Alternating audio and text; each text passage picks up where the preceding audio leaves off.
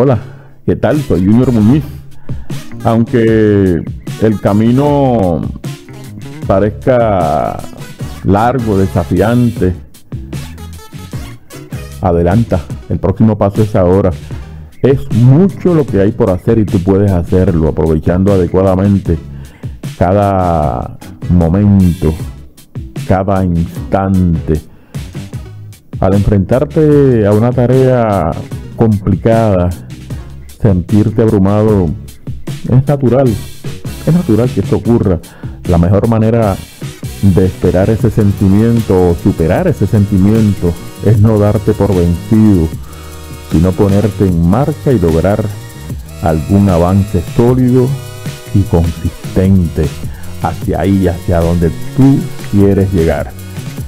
Aparecerán desafíos inesperados, eh, habrá obstáculos que se te atravesarán bloqueando tu camino y parecerá que el mundo está en tu contra.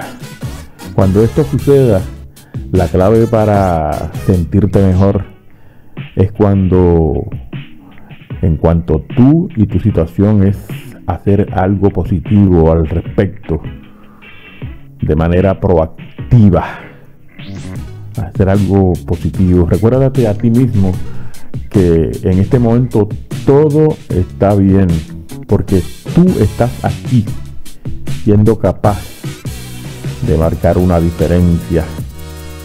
Este momento es la suma de todo lo que tienes ahora.